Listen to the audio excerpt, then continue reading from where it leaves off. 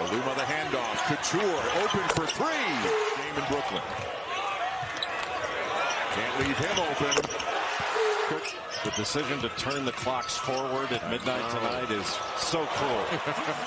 Murphy got it over the outstretched arm of Williams. Long rebound. Two catches. Hard to get in front of him. You're going to pay a price for that size. Good cut. And Cattoor.